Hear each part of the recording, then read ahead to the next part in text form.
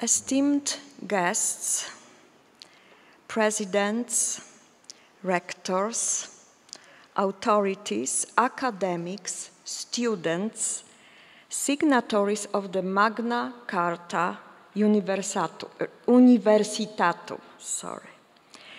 It is my privilege and sheer pleasure to welcome you all on behalf of the whole community of my university and the organizers of this year's Magna Charta Universitatum anniversary, a uh, first for Poland. It seems only fitting that the University of Łódź should host this event having been one of just 11 Polish higher education institutions to sign the original Magna Charta back in 1988 with the Iron Curtain still firmly in place. One might say that the inclusion of Eastern Bloc universities in that initiative was one of the first gusts of the wind of change that brought on major transformation in Europe soon thereafter. The wind keeps on blowing, the changes are for the better and for the worse, and thus the world of 2023 is different from that back in 1988. But the values that guide academia should remain unchanged. This is Magna Charta's greatest strength universality and untemporality, resistance to trends, fads, and political preferences. Another reason why Magna Charta has attracted nearly a thousand universities worldwide is that the values it upholds are not restricted to the ivory tower, but have a very practical axiological dimension. Universities are exceptionally large communities of those disseminating and seeking knowledge and truth, communities that coexist and integrate with society.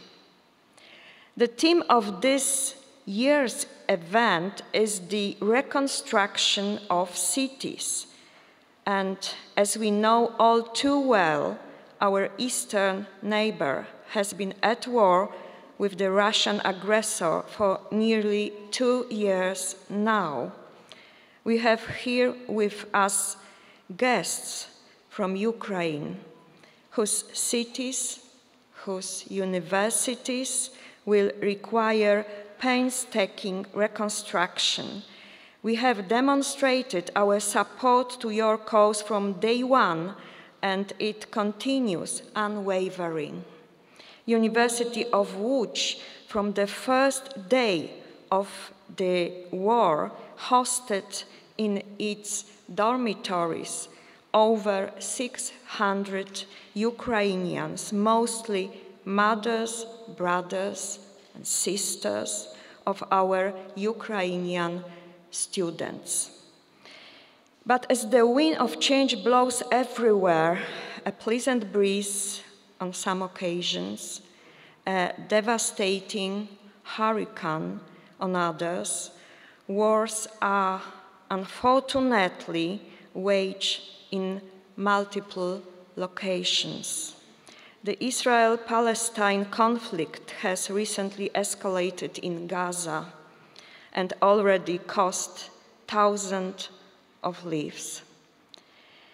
Academia is apolitical but is not immune and never indifferent. We all help whenever we can and help we must. It is not just armed conflict, natural disaster, climate change, adverse demo demographic and economic effects are among the topics of this conference and the concerns of academia communities worldwide. I think the Magna Charta Observatory for conferring the honor of organizing this year's anniversary event upon University of Łódź. As all the other signatories, we uphold, implement, and advance the key values of the Charta. Independence, seamless, seamless coexistence of teaching and research, as well as tolerance and openness to dialogue. I'm certain that these values will not only reverberate many times over the next three days in the University of Łódź, but have already become the guiding principles in the day-to-day -day operation of all our universities. Thank you very much.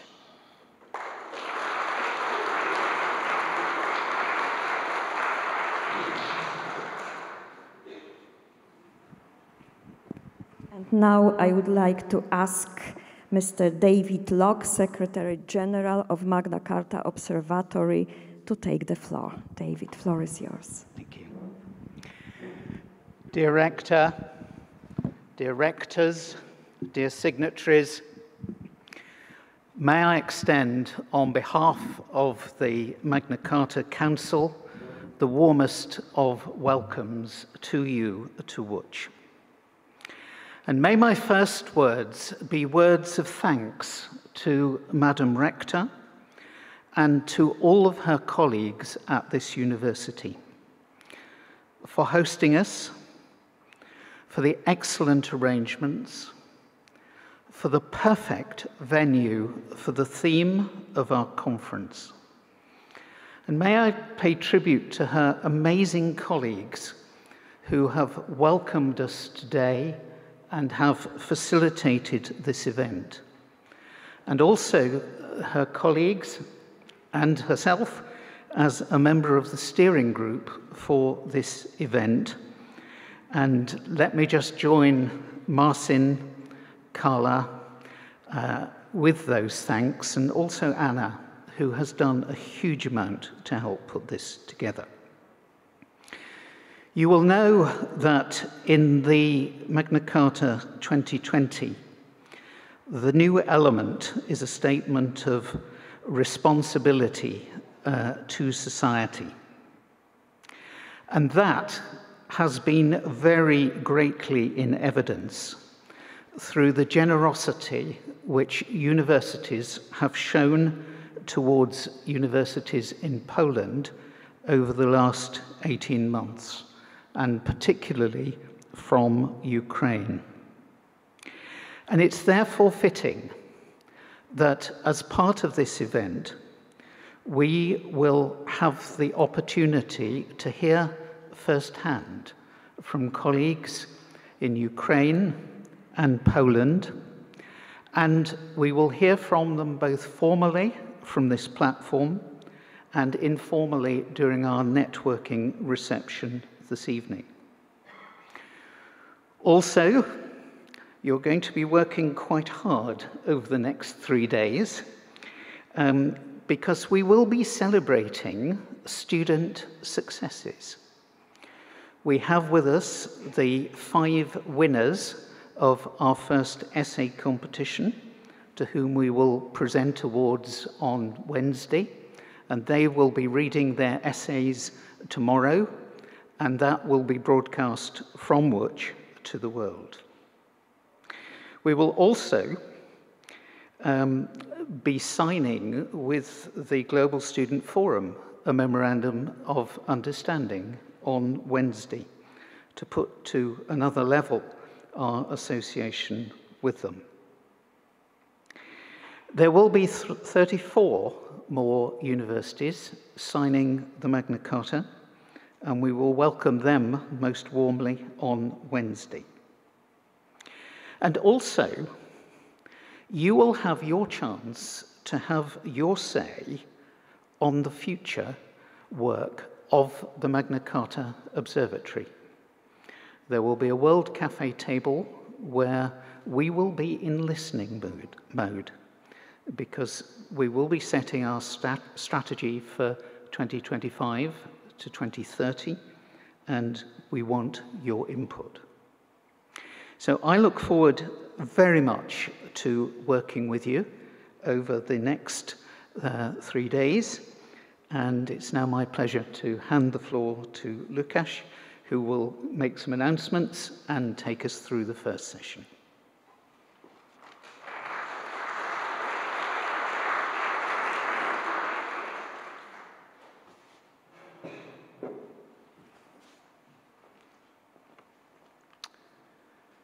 Thank you very much, Mr. Secretary General, David. Um, before we proceed to the first item on the agenda, the first panel, um, may I have your attention for a moment for some um, technical organizational um, things. As you've figured out by now, uh, your badges have a QR code where you will find the program of the conference, which is being updated. You can connect to the conference Wi-Fi using the login and password provided on the back of your badge, which is MCO, the login, and the password is Magna Charta, of course, with a CH 2023. As the conference is being broadcast live, um, please avoid using the uh, central aisle here in the room. So if you have to leave the room or move elsewhere, please uh, stick to the side aisles if possible. Um, if you haven't done so already, please provide the uh, staff at registration with uh, the name of your hotel. We will provide transport, um, however, only to and from the hotels listed on the conference website. Of course, we are here um, to help you, so if you have any questions, uh, please approach me or any um, one from the organizers.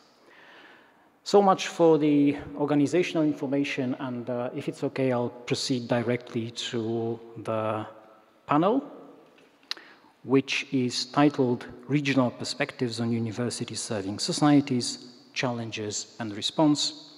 So in this pre-conference session, we will be providing an introduction to the higher education landscape and current issues, both in Poland and in Ukraine, and uh, the speakers who have agreed to speak today are either online or physically here with us.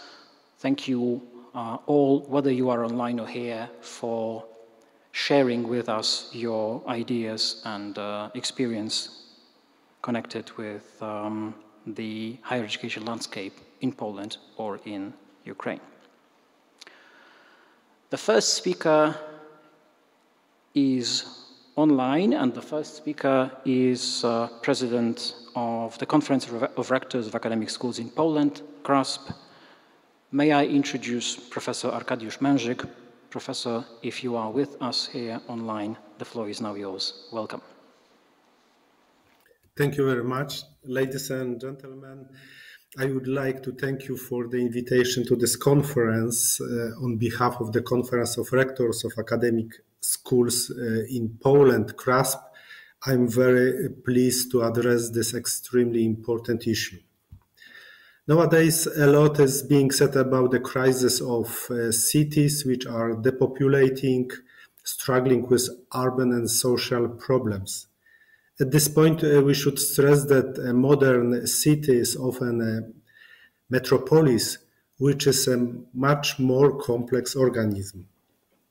I am particularly familiar with this because I live and work in a metropolitan region of Upper Silesia in Gliwice, a city uh, whose modern identity was created mainly by the Silesian University of Technology and Katowice Special Economic Zone. The capital of our region, Katowice, has undergone a transformation over the past decades from a city associated with heavy industry, air pollution, environmental degradation, Katowice has become a center of culture, science, and education, as well as a modern center for business and new technologies. The former Katowice mine has been transformed into the culture zone, a place unique not only in Poland, but also in Europe. Among other things, Katowice was awarded the title of European City of Science 2024.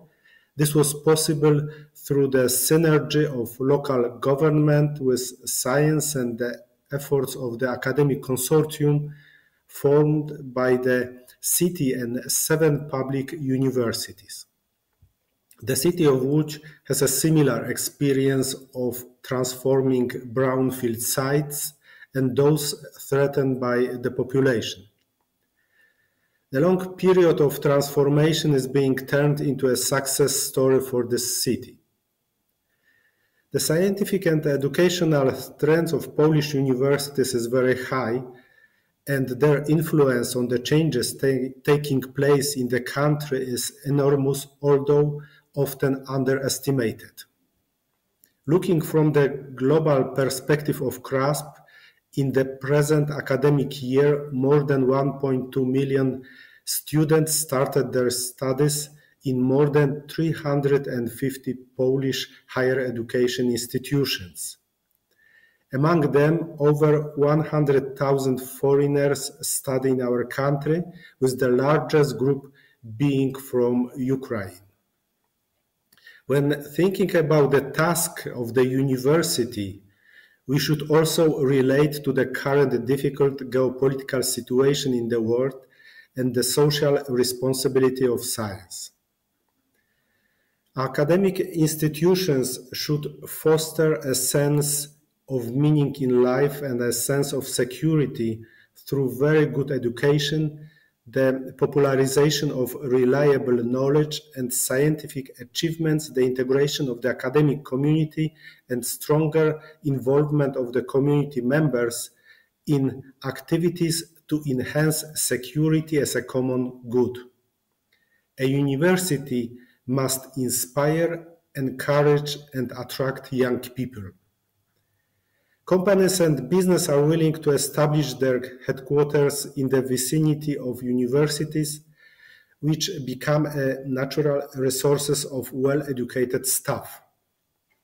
We notice that businesses influence not only the employment perspective, but also affects the educational offer, supporting and profiling it directly or indirectly according to market trends.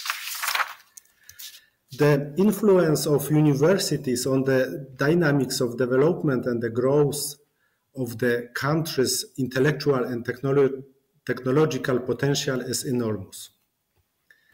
The role especially increases when we are dealing with the consequences of such tragic events as those unfolding across our eastern border. Universities are the driving force behind the transformation of the region. Cooperation between Polish and Ukrainian universities should already be aimed at the development of academic centers, reconstruction, and European integration in Ukraine. The CRASP has strongly supported Ukraine, especially in its integration into the European higher education area and the European research area. The integration friendly activities are supposed to lead to partnership relations between Polish and Ukrainian universities and national rectors' conferences. On the results is expected to be the inclusion of the Union of Rectors of Ukrainian Institutions of Higher Education into the European University Association. We will also uh, intensively support the accession of Ukrainian universities to different international organizations, increasing the participation of Ukrainian universities in the Erasmus Plus program the reconstruction of damaged university infrastructure and the restoration of university activities. Not only does the war affect the condition of Ukraine's universities, but the omnipresent sense of danger to life takes a toll on the mental health of young people, university applicants, and students. Despite uh, changing uh, life profiles and limited mobility, many continue their studies abroad. According to published data, around 48,000 students from Ukraine were studying at Polish universities last year, and the total cost incurred by universities and institutes to support refugees exceed 4 million euros. Since the beginning of the war, the support has covered not only approximately 10,000 refugees, but also current students, doctoral students, or employees. To better organize the support for Ukraine at the beginning of March 2022, on the initiative of the CRASP with the financial support of the Ministry of Education and Science, a network of coordinators for Ukraine assistance was established. It brings together representatives of 229 entities, universities, institutes of Polish Academy of Sciences, representatives of the ministry, government, government agencies, and other organizations. We are convinced that soon higher education and vibrant research and innovation centers will play an important role in the recovery of the Ukrainian economy from the devastation of the war and Ukraine's membership in the European Union. We want to continue to be actively involved in this process. Thank you very much.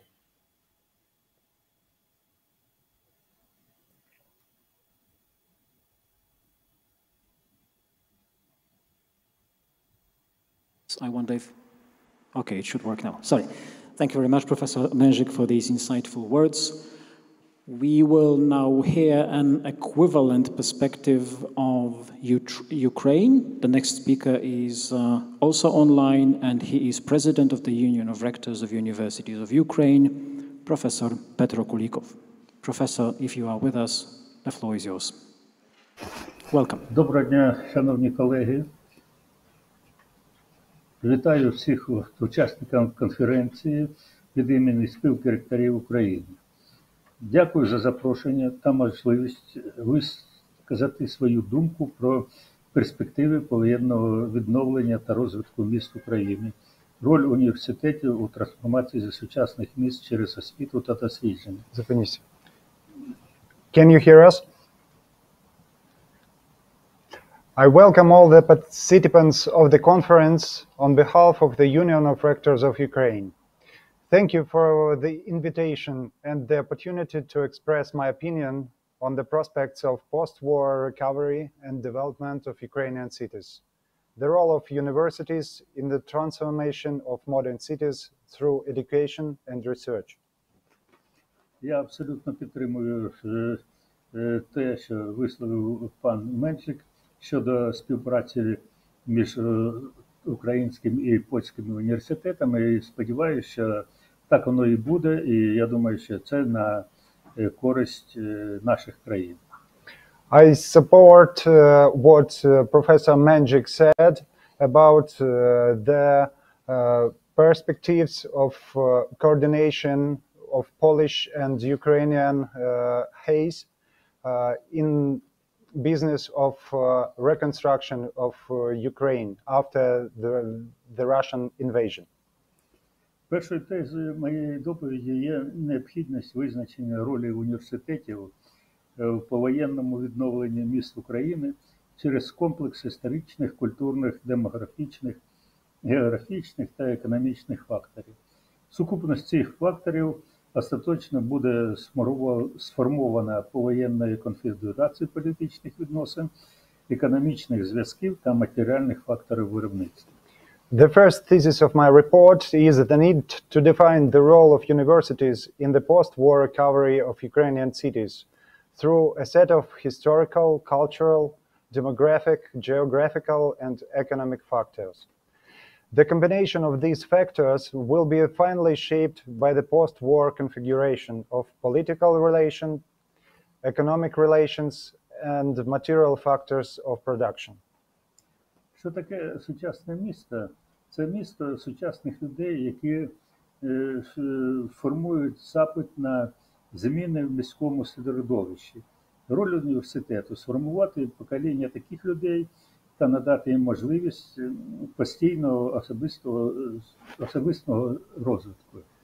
What is a modern city? A modern city is a city of modern people who form a demand for change in the urban environment.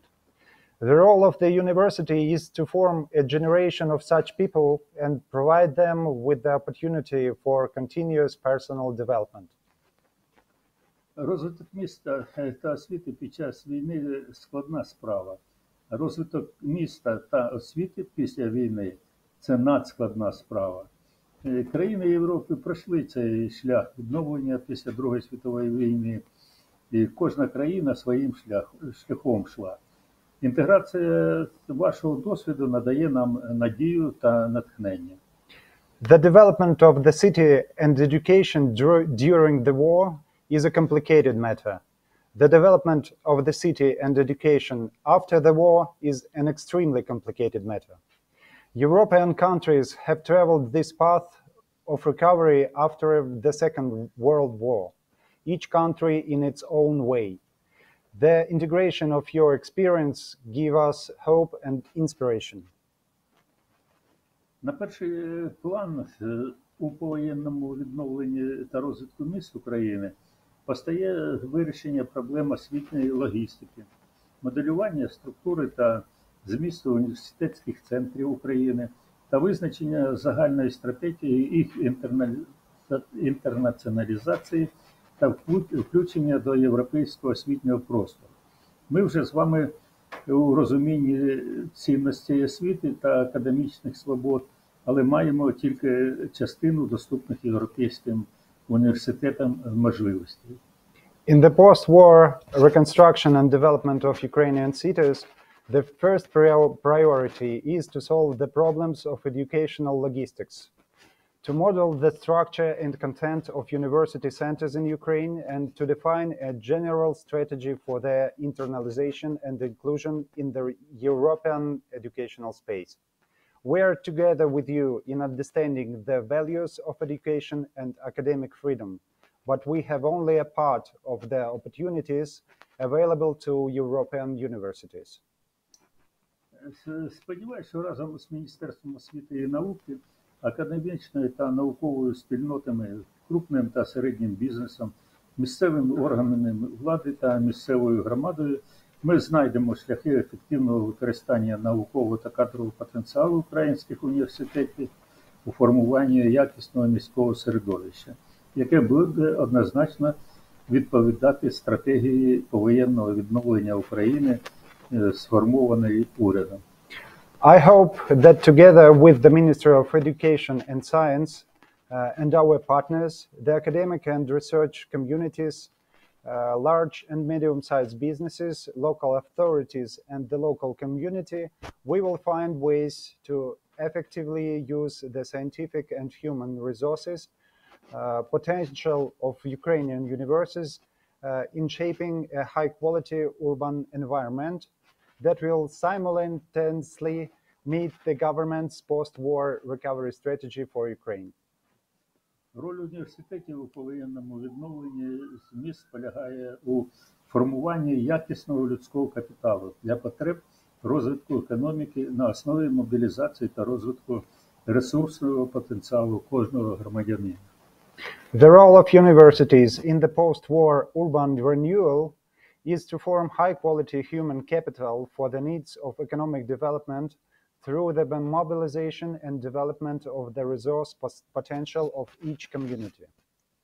Київський національний університет будівництва архітектури, який я очолюю, має потенціал і досвід для формування наукової основи стратегічного розвитку міст та територій через дослідження економічного, демографічного та освітнього потенціалу міських агломерацій. Моя думка, що роль сучасного університету кризових ситуаціях полягає у підтримці громадських ініціатив та надання аналітичної підтримки при прийнятті рішень важливих для громади. Досвід участі нашого університету у оцінці наслідків російського вторгнення для міст України та розробці технологій збереження історичних спадщин під час військових дій підтверджує цю тезу. The Kiev National University of Construction and Architecture, which I manage, has the potential of experience to form the scientific basis for the strategic development of cities and territories through research on the economic, demographic, and educational potential of urban agglomerations.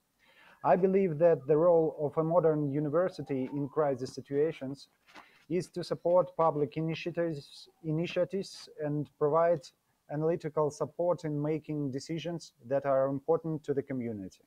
The experience of KNUSA's uh, participation in accessing the, assessing the impact of the Russian invasion on Ukraine cities and developing technologies for preserving historical heritage during military operations confirms this thesis.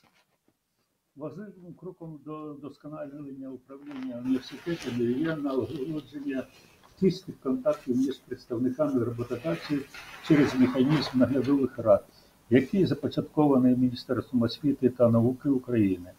Орієнтація на інтереси розвитку соціально відповідального місцевого бізнесу є актуальною відповіддю викликам, які стоять на шляху до формування якісного міського середовища повоєнних міст. An important step towards improving university governance is the establishment of close contacts between employers representatives through the mechanism of supervisory boards, which was launched by the Ministry of Education and Science of Ukraine. Focusing on the interests of developing socially responsible local businesses is a relevant response to the challenges that stand in the way of creating a high quality urban environment in post-war cities. Також важливим напрямком співпраці громад міста та університету є розвиток освіти дорослих, що є особливо важливим аспектом розвитку людського капіталу в умовах катастрофічного зниження кількості населення України. Тобто я не буду приводити цифри, тому що вони коливаються і ну, не будуть такими точними, але те, що така проблема існує, це факт. Тому сучасні цифрові формати освіти розвиваються більшості українських університетів, але потребують участі та підтримки від наших закордонних партнерів. Another important area of cooperation between the city's communities and the university is uh, the development of uh, uh, education of adults. Which is particularly important aspect of human capital development in the context of uh, catastrophic decline of the population of Ukraine. Uh, I won't tell uh, digits uh, because it always differs from time to time. Modern digital formats of education are being developed by most Ukrainian universities, but require the participation and support of our foreign partners. Україна чітко визначила свій шлях на інтеграцію в європейський економічний, освітний та науковий простір. Саме тому ми розділяємо та підтримуємо принципи, викладені в оновленій Великій хартії університетів, та прагнемо бути частиною цієї спільноти, спрямованої на подолання виклик, викликів та криз, яких так багато останнім часом. Дякую організаторам за можливість долучитися до обговорення. Ukraine has clearly defined its path to integration into the European economic, educational, and scientific space. That's why we share and support the principles set out in the updated Magna Charta Universitatum. And we strive aimed at overcoming the challenges and crises that have been so numerous in recent years. I thank the organizers for the opportunity to join the discussion. Бажаю здоров'я всім присутнім і до перемоги і слава Україні. Uh, glory to Ukraine.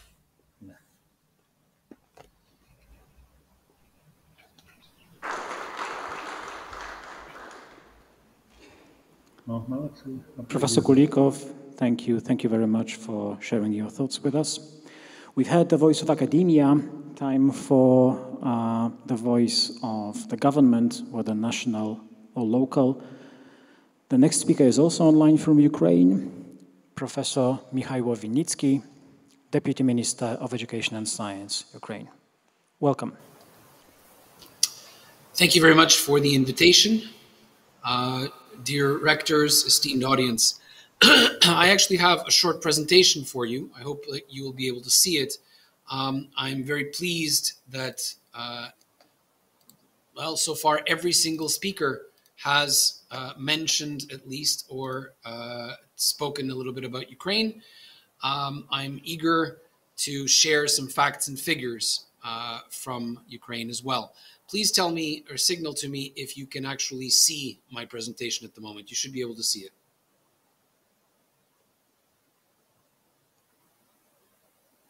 Unfortunately, I can't hear you.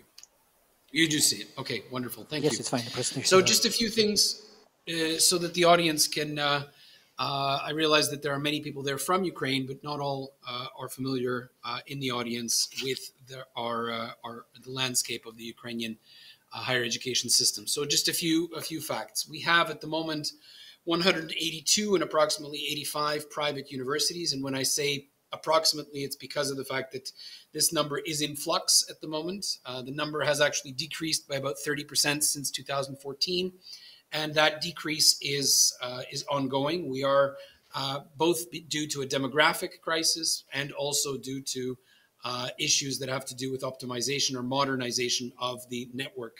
Uh, as you can see, we are not a small educational uh, community, over 1,000, or excuse me, over 1 million students.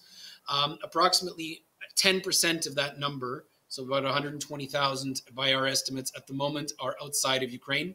That is approximately half of what was what were the figures for 2022. And I will say some more thanks and gratitude to our partners, our university partners throughout the world for providing assistance when we most needed it, particularly in Poland. But I will speak more about that in a moment. Um, key reforms that have happened uh, over the last 10 years. We are now fully integrated with the European higher education area in terms of three cycles. ECTS, PhD reform has been completed. Uh, university autonomy is only partially implemented, as uh, Professor Kulikov today mentioned. Um, the issue of university autonomy and the introduction of supervisory boards is something that is very much um, on the agenda at the moment. We have a new quality assurance system that has to do with the launch of the National Agency for Higher Education Quality Assurance. I was had the privilege of being involved with that in 2019 to 2022. And frankly, I think that that was probably one of the best experiences in terms of what, what could have been done for the higher education system at the time. 2017 had a, a reform called the New Ukrainian School, which brought us competence-based programming for the uh, for the school sector and also moving towards a 12-year school trajectory, which will obviously make a difference also for the higher education sector. Unfortunately, 2022 has brought us disaster. Uh, and that disaster has continued for over 600 days now. Uh, this building that you see at the moment is the Faculty of Economics of Karazin University in Kharkiv. Uh, and there are several similar buildings. Excuse me?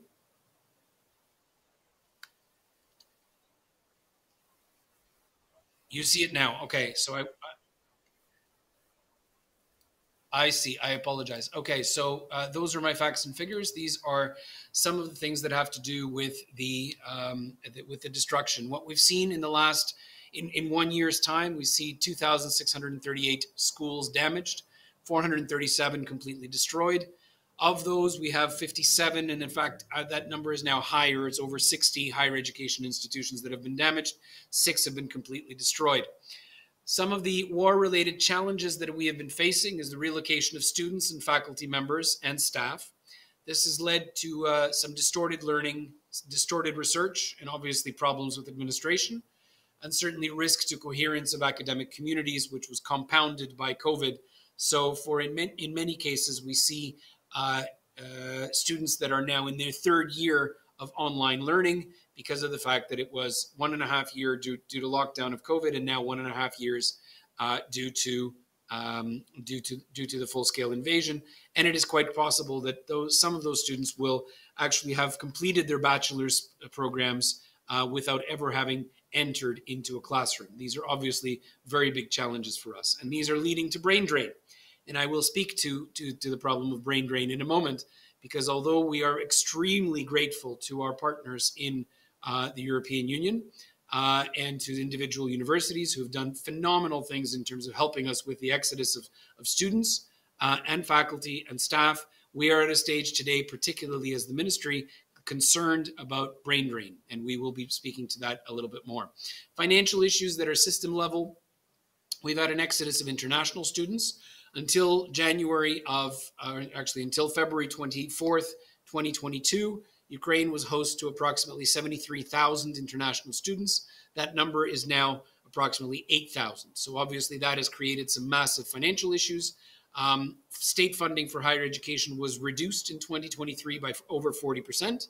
Uh, and at this point, we are now trying to, uh, to, to return some of those levels of, of financing because obviously, with a drop of 40% in one year, that has made many higher education institutions, quite frankly, unsustainable. Admission of Ukrainian students abroad reduces tuition incomes to higher education institutions in Ukraine, which obviously causes some financial stresses. We are extremely grateful to the early and rapid relief effort, efforts of our international partners, uh, particularly from European University Association, but also from the UK. Uh, we have a, a, a, very successful twinning program that was put together by an organization called Cormack Consulting. Erasmus Plus has turned out to be not just about international credit mobility and exchanges, but in fact was an instrument for uh, uh, helping to house many of our students last year. We've had a, a, massive influx of online webinars, open lectures, joint research projects. Um, we are very grateful that the Russian higher education institutions and QA agencies have been removed from the U European Union organizations. We believe that's extremely important, not only as a symbolic gesture of support, it's also important because um, the Russian higher education system has obviously proven itself to be a failure um, if we believe that higher education is also about uh, creation of or engendering certain values and also worldviews. And certainly, uh, this is not something that the Russians have been showing. Uh, democratic values are not something that they've been demonstrating within Ukraine. The Ukrainian Global University project has been very successful. We've seen access to open scientific bases Ukrainian study centers and visiting professor, professorships have been uh, have been quite common. I do want to show one thing, uh, and it, this is actually, uh, I apologize if uh, perhaps what I'll do is I'll show this first. Um, what this map, oh, excuse me, that's not going to work that way. Um, sorry about that. Uh, the first map shows you uh, the numbers of people that exited Ukraine in 2022. And this is where we are extremely grateful to our Polish friends. Poland has turned out to be, um, well, has, has opened its arms uh, to Ukrainian refugees. As we have seen, we are extraordinarily grateful, and we are grateful to everything that has been done in terms of provision of uh, facilities for our students as well. And this goes also for Slovakia and, and Czechia and, and, Hungary and Romania and, and Germany and France and all of our all of our European partners have actually opened their arms and obviously their, their pocketbooks as well in terms of helping Ukrainian students and staff last year. I do want to mention, however, that the uh, level of effect of the war at this point on Ukraine is very uneven. We see obviously large occupied territories in the south and east, but we also see deoccupied areas in the north, the east, in the Kharkiv area, and also in the south around Kherson.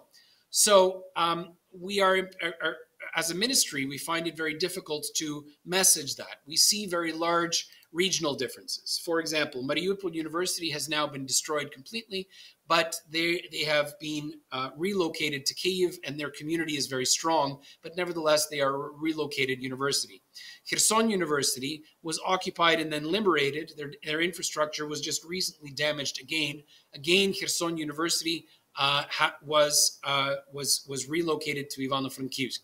Mykolaiv University was never relocated, uh, was never under occupation. However, basically all the higher education institutions of Mykolaiv were either destroyed or damaged, and obviously they are in need of uh, not just uh, human capacity rebuilding, but also in terms of um, physical capacity rebuilding.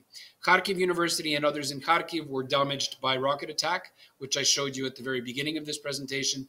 Odessa, Dnipro, Zaporizhia, these are cities that are under constant rocket attack, but nevertheless continue to have teaching, continue to have very often in class, uh, but mostly online uh, teaching in classes. Kiev was largely evacuated in February and May of 2022. Now is continued uh, threat of rocket attack, but has returned largely to offline offline learning. Sumy, Poltava, Rivne, Zhytomyr, these have infrastructure damaged, uh, but now are under constant attack. But nevertheless, many have returned to offline.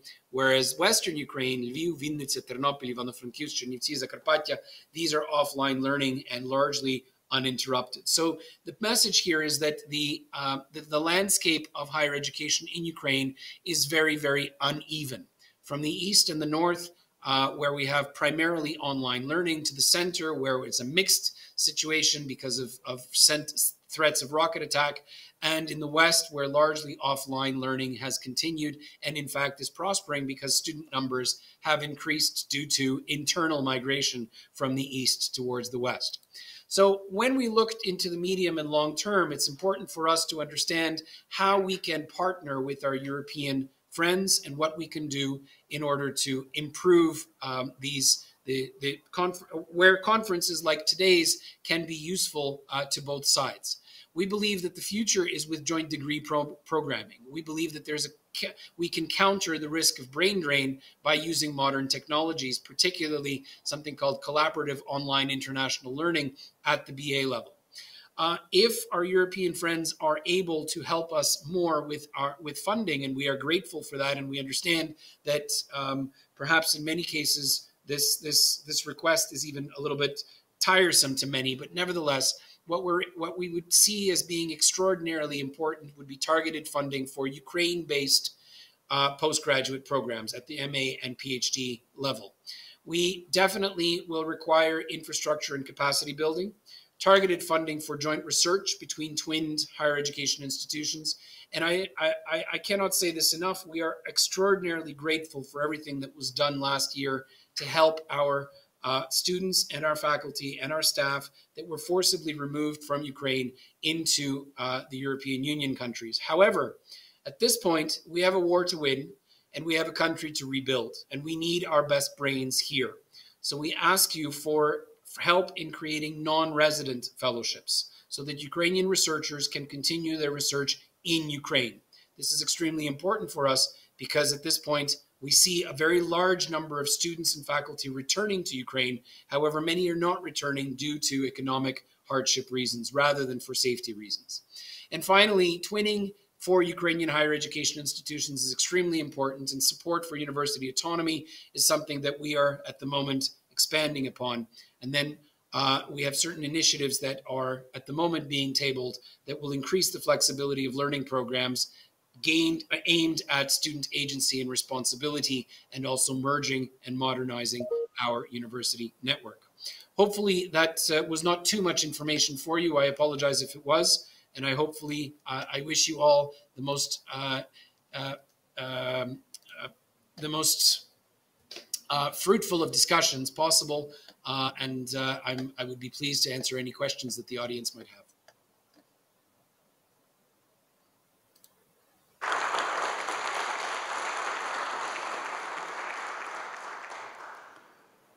Thank you very much, Professor Wynnyckyj, for your presentation and for your address.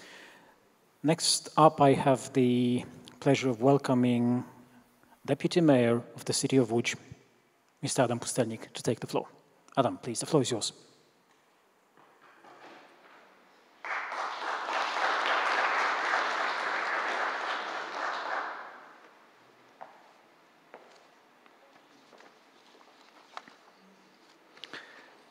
Magnificencies, honorable guests.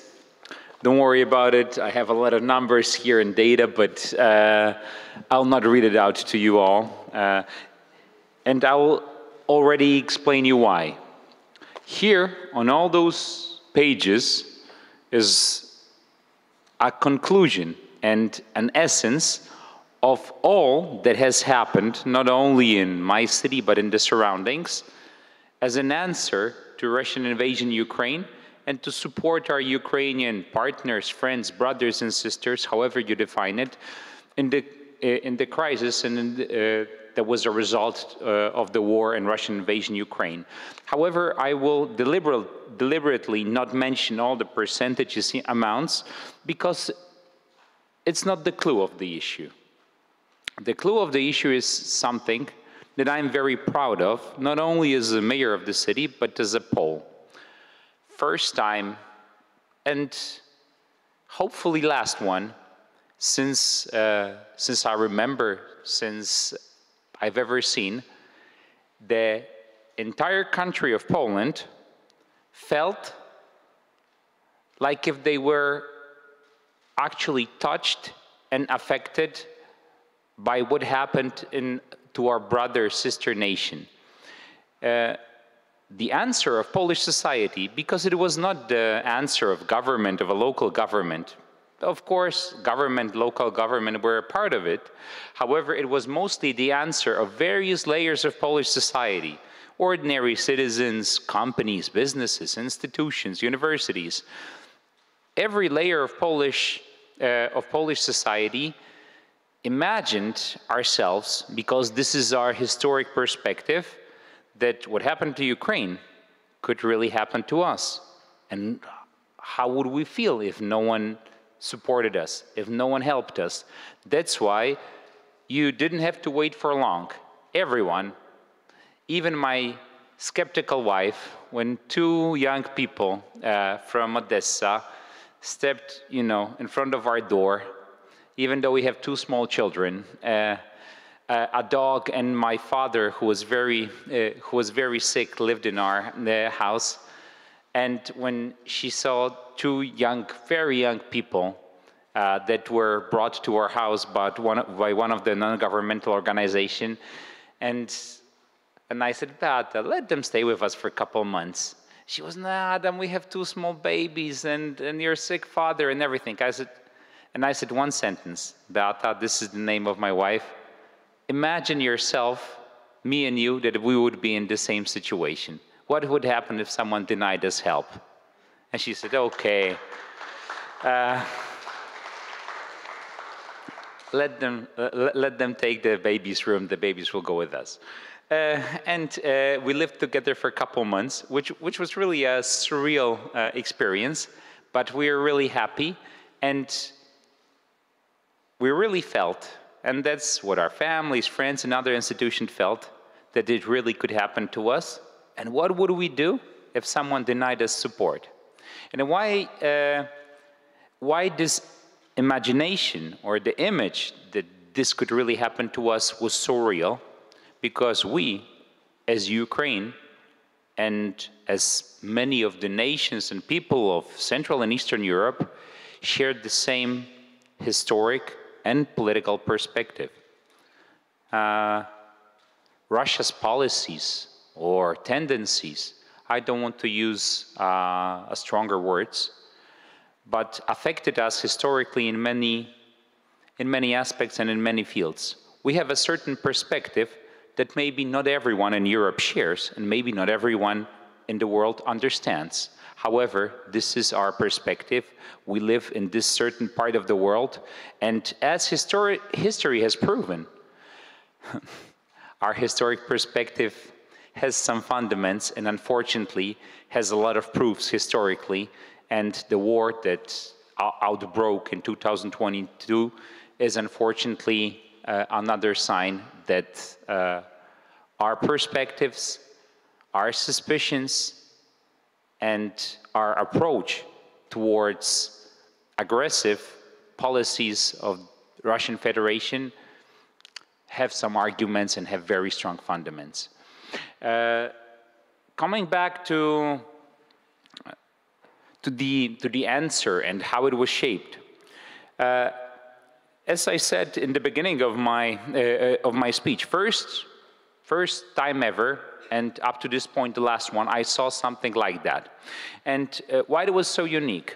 Usually, when when out, when wars outbreak, when massive crises happen, there is a very strong role of the state. Many people coordinate that. There are some public policies. And here, the very unique aspect was the spontaneous answer, uh, in which I'm very proud of several elements. Uh, happened some of the policies and projects that were biggest or most spectacular worldwide in their fields. There is a company in which this, this project I'm particularly proud of. This is the biggest pharma company in Poland. It's called Pelion Healthcare Group. Together with also one of the world's leading uh, humanitarian organizations, Direct Relief from California, those two entities, with our, with our small support, created uh, a totally unique and I think the most massive support program in Poland. It was called Health for Ukraine, where Direct Relief and the American partners and donors supported the biggest pharma company in Poland to distribute a system of, I don't know how to even say that, kind of pharma checks, where uh, our brothers and sisters from Ukraine could, could without any cash involvement, buy necessary medicine, including very special ones, and they were funded by Pelion, by Direct Relief, and by uh, part of the American donors. It solved one of the very fundamental issues that, uh, that was related to, the, uh, to a situation that no one was prepared for, health healthcare system and taking care of the ill was one of the fundamental issues and challenges to tackle. This program, Health for Ukraine, is something extraordinary and uh, it tackled it very quickly and with enormous amounts uh, of funds that were results of big hearts of our partners from the other side of the ocean. Some other elements that were really, really spectacular and I have to admit that was the answer of Polish state that creates solutions that made it possible for our uh, Ukrainian partners to, to feel safe, to have the social security system like uh, it was a copy-paste system uh, from what was related to Polish citizens to Ukrainian citizens. I think it was a very good decision. And I think that there are some of the fundaments that are a part of the answer to such a radical situation. Some of them is health healthcare system, social security system, housing, taking care of the children, and having some tools and policies to make people feel like they are part of the community. The elements of providing the social security and social stability, uh, they, they, were, uh, they were and they are still there. I think it was a wonderful decision. The elements regarding healthcare were also there. However, the things that were the biggest challenge, and we we tackled this challenge, but uh, it was it was something really difficult. But I'm really very proud of the teachers of uh, of Poland and particularly of my city. Uh, tens of thousands of Ukrainian children they entered the system almost overnight. Uh, the educational system of Poland was never prepared for such solutions. The system was ineffective even without that. However, somehow and I don't know how, with God's help probably, uh, without additional massive funding, without some very fancy or uh, sophisticated tools, somehow spontaneously, by extraordinary effort of of, of, teachers in kindergartens, uh, of staff in nurseries, of uh, people at schools and universities, uh, we managed to implement a cycle of solutions to make people feel a part of community, to uh, eliminate a fundamental barrier, an obstacle or a boundary, if you wish, that happens in such situation, which is language.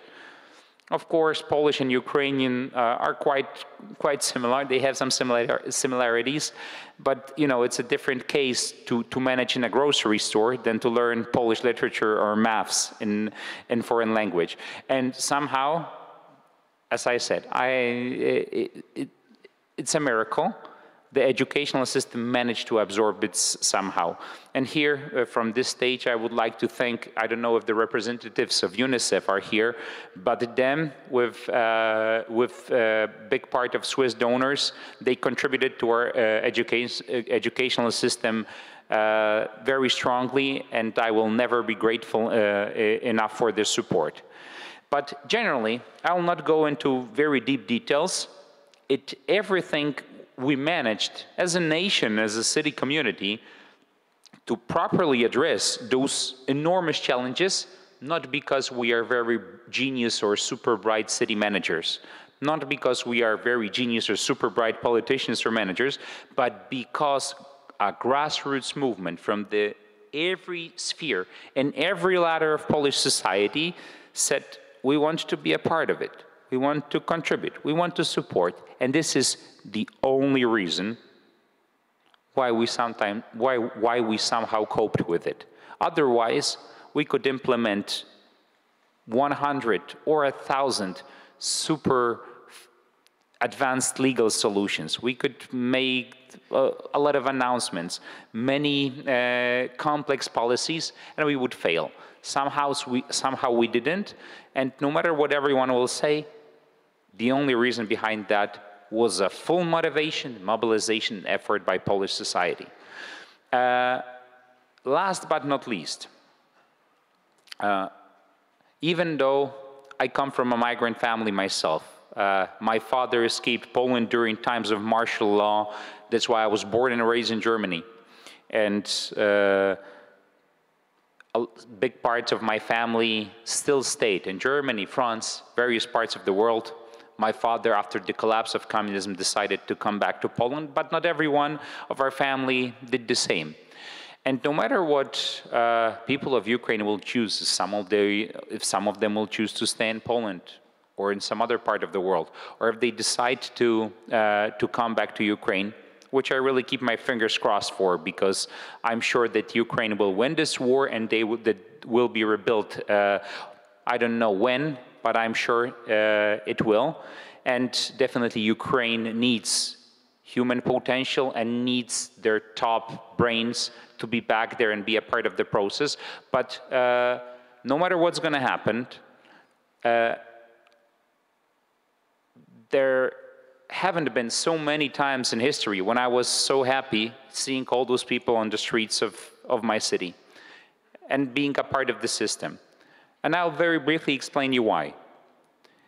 If, if a city or a country does not manage to be a successful melting pot does not manage to be attractive for people from all over the world, does not manage to include in the community people from various countries, various continents, various cultures, it will never succeed.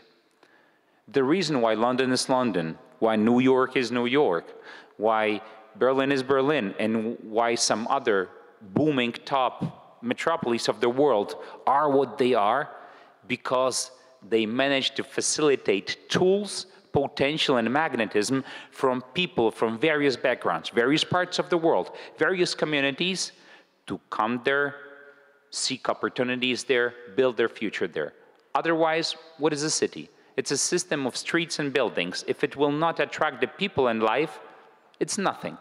And that's why uh, I really hope that my city and my country will remain and will build this capacity to attract people from whatever they come from to seek opportunities there and feel he here like if it was their home.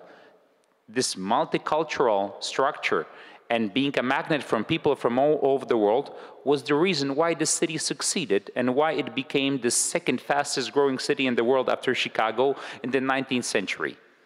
Of course, I would like to repeat this process, and I would love to see uh, our uh, part of our Ukrainian brother sister part of it, but only on their conditions. If someone would like to be here and stay here, I would love to see that, and I would love to see people see this place as their home. However, not being forced here, but only if they would choose to.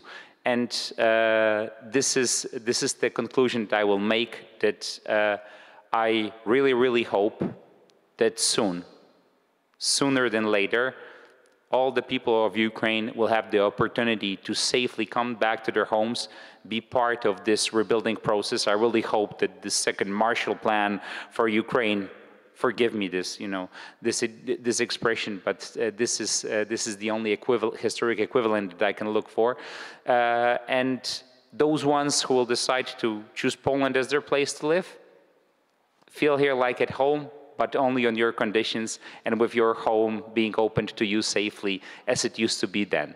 Uh, really, thank you very much for your attention. Thank you to, to the entire academic community that came to this conference. It's a really big honor to us because Magna Charta Universitatum is uh, its policies, its values, they are really close to our heart, and it's an honor for a city to host you here. And uh, to all the people from Ukraine, I, I, don't hope. I'm sure that uh, uh, at some point, I don't know where, Ukraine will see its victory and uh, will will go back to normal, and all the people who want to be there, live there, uh, will be able to live there peacefully and safely. Thank you very much.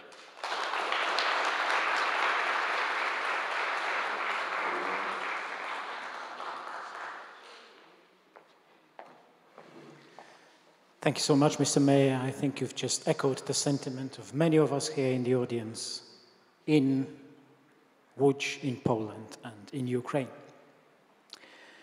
We go back to the Ukrainian perspective now, and may I invite Mr. Vitaly Biły, Council of the Embassy of Ukraine in the Republic of Poland, who will read the letter on behalf of His Excellency Mr. Vasyl Zwarycz, Ukrainian Ambassador to Poland. Please.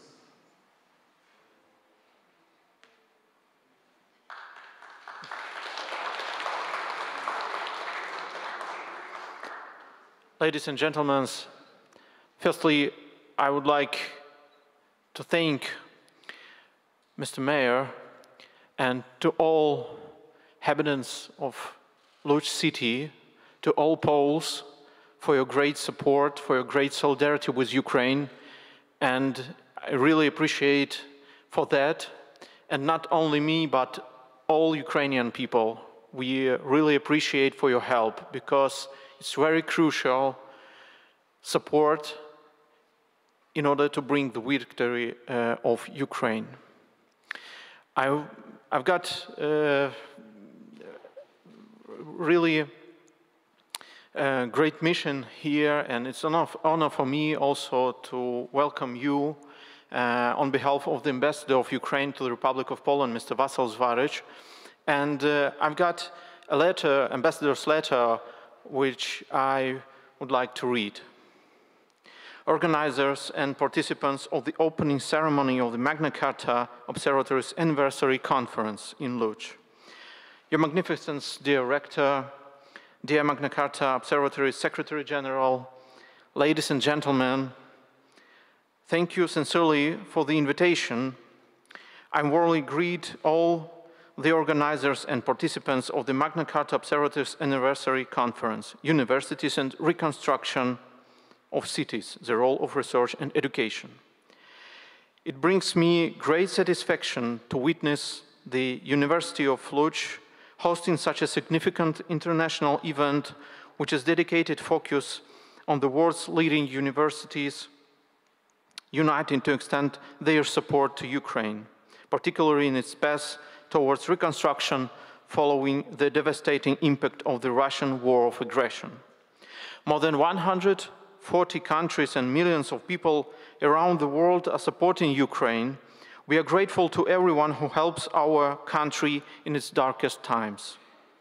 Since the start of their invasion, the Russians have fired approximately 3,000 missiles at Ukrainian cities and towns and destroyed more than 120,000 civilian infrastructure facilities, including power plants, gas pipelines, schools, kindergartens, and numerous residential buildings.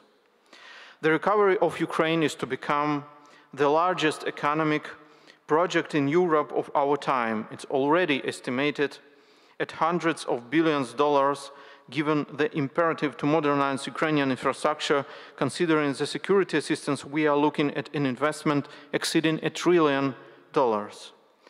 The world has been showing unprecedented solidarity with Ukraine. This solidarity is steadfast and multidimensional. It's reflected in political statements, military support, humanitarian aid, or financial assistance. This strong solidarity is also expressed in welcoming millions of Ukrainians and making them feel at home. It's also reflected in providing students the opportunity to continue their studies far from home. Ukrainians will always remember this outstanding empathy and humanity. I believe no one will deny the great value that human capital has for a country. It's a key driving force for any country's development. That is why a country's intellectual strength is usually one of the aggressor's priority targets to annihilate the nation. I would like to thank you all for understanding the critical importance of preserving Ukraine's intellectual capital for the country's reconstruction and further development after we win this unprovoked war. Please keep on helping us maintain and develop Ukraine's intellectual strength, assisting Ukrainian students and academics. Ukraine has also set an ambitious goal to launch accession talks the, with the EU this year. Speaking about the Ukraine-EU relationship, I cannot but mention the outstanding role of Poland as a strong advocate of Ukraine's membership in the European Union. In that context, I believe that all European universities could also make an important contribution to the process of Ukraine's integration with the EU. Your bonds with Ukrainian universities and your joint academic work could be an efficient tool to implement EU standards not only in Ukraine's education and academic domain, but also in many other areas, including the process of rebuilding Ukraine as a strong European state, which in turn is a necessary factor in building a new security architecture for our region. Thank you once again for your strong solidarity with Ukraine and thus for your commitment to the shared values of humanity, for your efforts to help Ukraine and Ukrainian universities develop and flourish. May we all strongly believe in Ukraine's victory and work together to achieve it as soon as possible. I wish you productive discussions and once again extend my warmest greetings. With kind regards, Vasyl Zwarycz, Ambassador of Ukraine to the Republic of Poland. Thank you very much.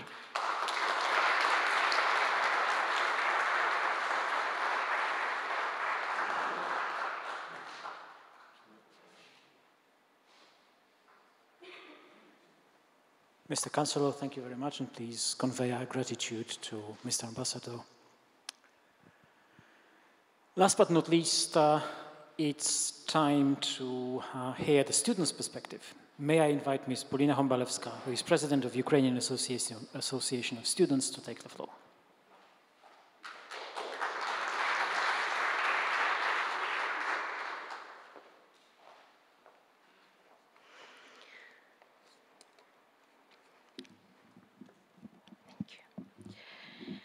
First of all, let me thank for being able here, uh, the voice of Ukrainian students, and to give you their students' perspective on these topics.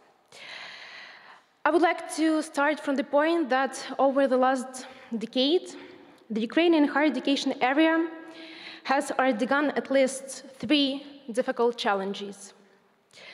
The revolution of dignity and the start of full-scale invasion of Russia against Ukraine in 2014 caused a disruption in higher education area and the first wave of universities relocation. The COVID pandemic, which has become a challenge for higher educational area worldwide, and it caused the, the transition from the traditional in-person learning format uh, to distance learning format, but also gave us a lot of innovations and new positive practices. And the third one today we talk about is the 24th of February 2022, which was the horrific, planned and brutal full-scale invasion on the territory of the independent state of Ukraine of, by Russia Federation. It was a challenge with, was the most unprecedented and cruel one, which aims to destroy our educational area, exterminate the Ukrainian nation and democracy of our world. A challenge that neither we nor the world was ready for. Challenge which had led to the complete disruption of the educational process, the rapid growth in the territory that were occupied by Russian invaders, number of regions where active hostilities were taking place, mobilization of academic staff and students, the second wave of, university, of universities relocation, large number of Ukrainian and foreign students who were forced to flee the country and leave their homes to other regions of Ukraine or even abroad. During that time, our government, and in particular our Ministry of Education and Science of Ukraine, became the center of strategic decision making. Higher educational institutions became humanitarian and evacuation headquarters. And young people of Ukraine and students became a consolidated and powerful force. I would like to stress that important and significant for Ukraine from the first days of the full-scale invasion war was the support of all your countries, was the support of the world.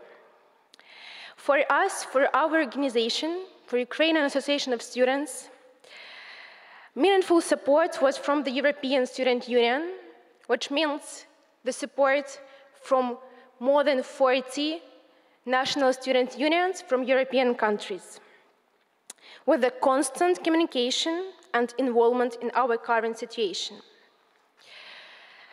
Now, I would like to tell you a little bit more about our organization. The Ukrainian Association of Students is the national union of Ukraine, which has been protecting students' rights since its established in 1999. Now we unite more than 150 local student unions all over Ukraine in 25 regions. And we have 25 regional subdivisions. Since 2007, we've been a member of the European Student Union, which allows us to represent Ukrainian students at the international level, to adopt positive practices of the European higher education area and implement them in our country, in our state, in the Ukrainian higher education area, to provide opportunities for Ukrainian students, and to promote our vision of consolidating students for the realization of common interests, not only on our national level, but internationally. Our main areas of activity is, include uh, protection, student rights, Student self-government development, involvement in the development of higher education quality system, involve, uh, representation of the interests of our members and the whole student society. Our largest projects were aimed at improving the higher education system and ensuring student participation in these processes at all, at all levels. We initiated amendments to the law of Ukraine on higher education um, about student self-governance, which is a unique achievement of student self-governance. We lobbied for reforms to expand the rights of students and student government bodies. We established the structural unit of the UAS, the National Association of Students Experts on the quality of higher education to ensure the participation of students in the quality assurance system of Ukraine. However, the full-scale war in Ukraine had a significant impact on our activities too. Relocated universities, internally displaced students, safety during the educational process, students' mental health, access to education, and overcoming educational losses become our priorities. Less than a month after the full-scale invasion, we launched a national student survey on further educational process and enrollment campaign during wartime.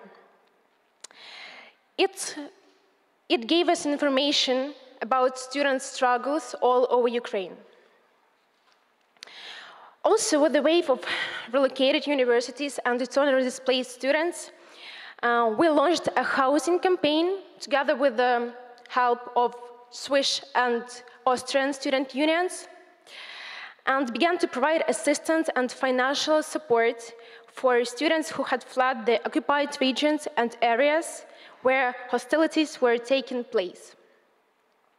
Also, one more project, and the newest one, is the DG Uni. It is the open um, Ukrainian initiative, and we we are working on this project with, in cooperation with 10 Ukrainian universities and also partners from European countries.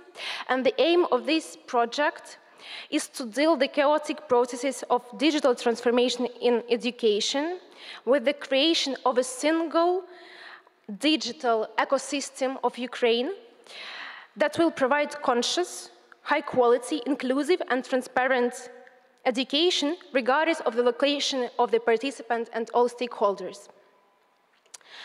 Of course, providing opportunities for students to, for unity, for creation a proactive student community and sharing experiences and positive practices is also an important component, especially after uh, several years of distance learning. Therefore, we have a number um, list of different activities, projects, and travel, uh, training programs which are aimed at developing student activism, and one um, of which is the International Student Exchange Program. It is like a mentorship program with the cooperation of local student unions of higher education institutions and the national student unions. And uh, by the way, uh, tomorrow with uh, our representatives of um, Student Parliament of the Republic of Poland, we will go from the Warsaw to Lviv and Kiev to start our first initiative. And also we're looking for new cooperation to continue these initiatives to give students this opportunity to exchange their knowledges and um, develop their societies. However, the key issue for implementing such projects is safety.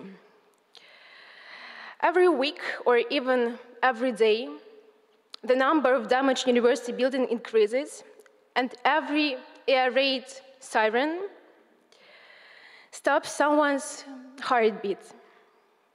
One of our main project, which started working on a few months after the full-scale invasion, is the information and fundraising campaign stood help. Chance to one, chance for one to save millions is the tagline of this project.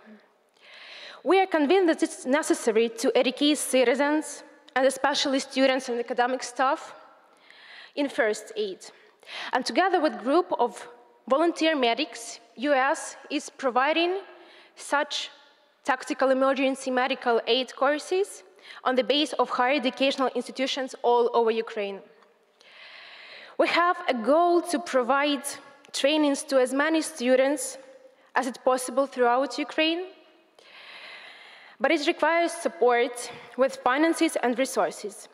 Therefore, we are really we're very grateful for new waves of cooperation to achieve this goal and to provide Ukrainian students with the skills which will help them to save their lives. For the spreading the real situation, we have created this Stud Health website where we collected five stories, which illustrates struggles of Ukrainian students who are trying to support their lives in the midst of war. Through these stories, we hope to give you an opportunity to look into the lives of those affected by this cynical war and demonstrate that youth of Ukraine need help more than ever. Every time while I present this project, I hope that it will soon lose its relevance. However, 600 days after the full-scale invasion has recently passed. And our struggle and fight within this challenge is still ongoing.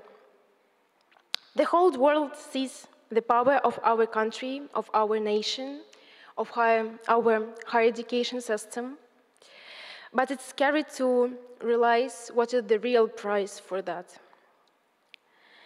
At this moment, it is important to remember how crucial Ukraine's victory in this war is. Today, right now, Ukrainian defenders, men and women, are standing on the front line with weapons in their hands. And we should remember that tomorrow it could be students and academic staff and colleagues from your universities. Today, right now, it's almost 10, it's almost nine years, and more than 600 after the full-scale invasion. Our, our army continues to fight on the front line. And on our common path to victory, future processes of reconstruction and rebuilding and avoiding such terroristic wars in the future, universities must continue to fulfill their role on our path to victory. We believe that this role includes state building and conscious state building and ideology formation. This role about growing active students into conscious citizens of our countries.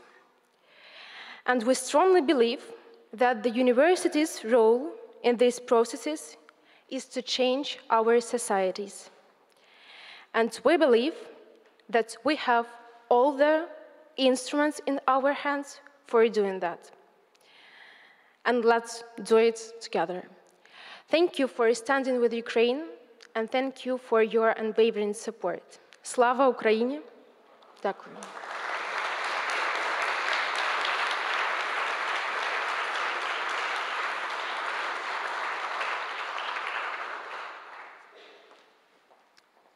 Madam President, Polina, thank you for this moving address, very important words. And may I invite Mr. Maxim Svisenko, member of Ukrainian Students' League, to take the floor now.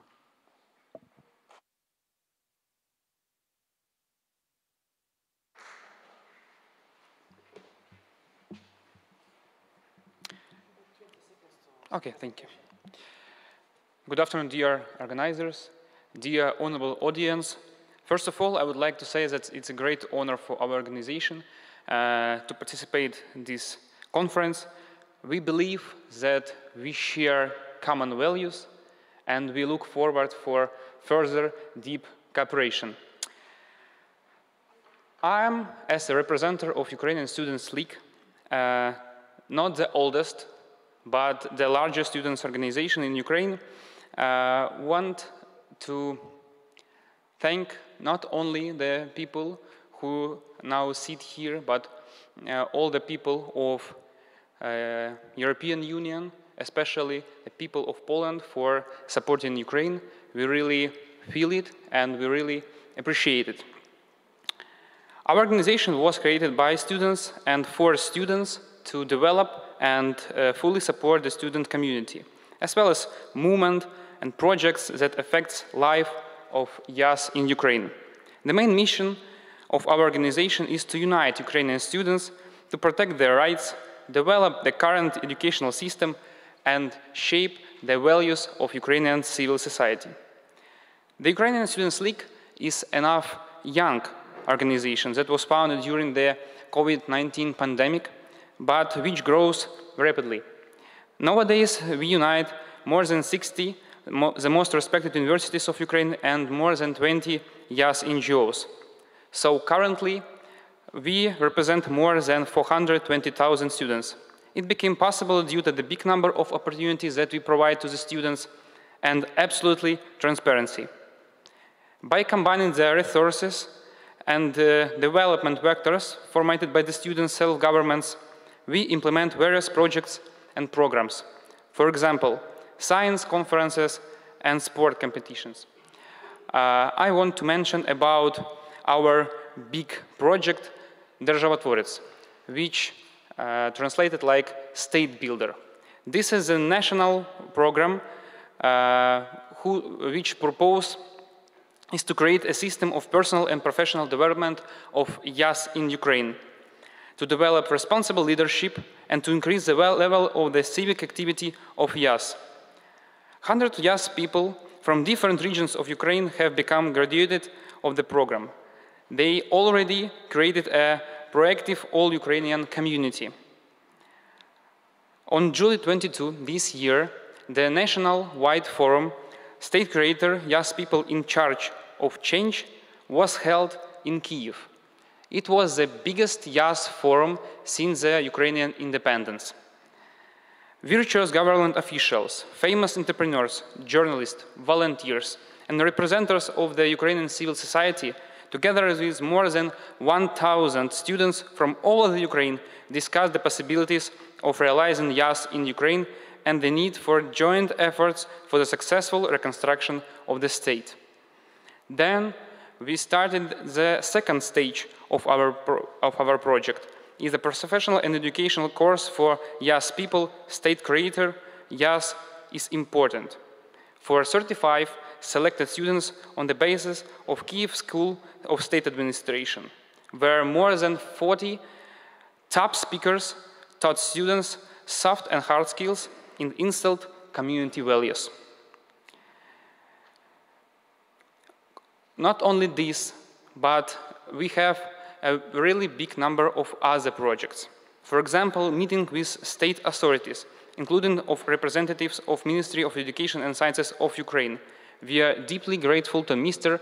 Mykhailo Wynnyckyj, who took the floor today uh, for his really deep involvement in the activity of our organization. Not only this, but we also provide pleasant bonuses for students, such as students' discounts, priority places and various events, for example, conference of, or uh, concerts, uh, which helps students to be more proactive. We also provide students with internships at private businesses and government agencies, and so on, so on, so on. Starting from the beginning of Russian full-scale invasion into Ukraine, Ukraine Students League supply humanitarian goods to internally displaced persons, hospitals, and armed forces of Ukraine. We deliver humanitarian goods to the hard-to-reach areas and the areas of hostilities. We also provide shelters to the free accommodation of internally displaced persons who have been forced to leave their homes due to Russia's wars against Ukraine. We have opened and managed six shelters in Dnipro, where up to 300 internally displaced persons can live. We pay special attention to the educational and formative development of students and teenagers. We have provided assistance and housing for more than 5,000 internally displaced persons. We also built the most modern center for long-term accommodation of internally displaced persons in the building of University Dormitory that was out of use for uh, more than 10 years.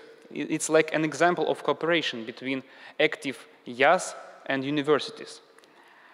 The center can accommodate up to 80 internally displaced persons, and it consists of 25 separate bedrooms, uh, 50 shared bathrooms, 3 shared kitchens, 3 shared dining rooms, 3 shared um, lounge rooms. But this is not all. It also consists of uh, co-working space, lecture hall, ch children play, uh, playground.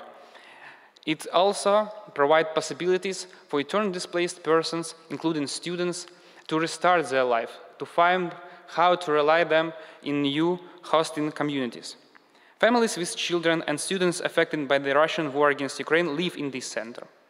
We have also successfully organized six charity festivals in Lviv, Dnipro, and Kiev, the festival features performances by famous musicians and stand-up comedians, and students, visitors can enjoy lectures, food courts, masterclasses, and game zones. The money raised at this festival is used for humanitarian needs of Ukrainians affected by the war. I also want to mention about our priorities for the next year. First of all, We want to expand our international projects, build better communication with Ukrainian students who live in Europe, implementation of our projects to help Ukrainians abroad.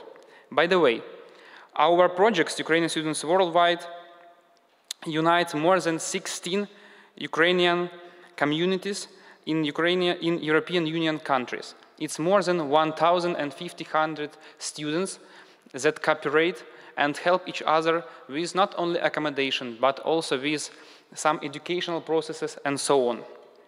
Secondly, continuing the humanitarian projects to face the problems of, caused by the war. Thirdly, improve the cooperation with temporarily displaced universities of Ukraine. We heard that Mykhailo Wynnyckyj told about it and emphasized that this is one of the main priorities now. The next one is to cooperate more with the Ministry of Education and Sciences of Ukraine to implement changes to the current legislation and the strategy for the development of higher educational system of Ukraine. We do it now and we will do it for the further. We also uh, plan to involve students to the program of, of post-war reconstruction of Ukraine. For example, the team of Ukrainian students League together with expert and local government, created the strategy of reconstruction of Bucha. This city was fully destroyed by Russian soldiers. And just imagine, now this plan is a, basis is a basic document for its rebuilding. And uh, the, our international partners, Ukrainian government, uh, recognize this document. This document was fully created by the students. The last but not the least, we plan to launch the projects with students veterans to integrate them into society and the student community. We want to show them uh, that they are fighting for not just for some borders, not just for some square kilometers, but for the whole nation, but the values uh, that unites not only all the Ukrainians, but Ukrainians and EU members. More information about our projects implemented by Ukrainian Students League you can easily find uh, on our official website, on our official sources via Facebook or Instagram, but uh, I will be happy uh, to tell you about all our projects and the possibility of cooperation during these three days in person. Thanks for your attention and thanks for supporting Ukraine.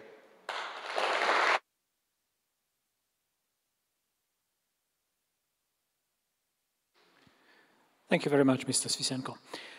Our time is almost up, but uh, I think we can accommodate one or two very short questions before the refreshment break. So if anyone has any feedback or a question to one of the speakers or a comment to make, please go ahead.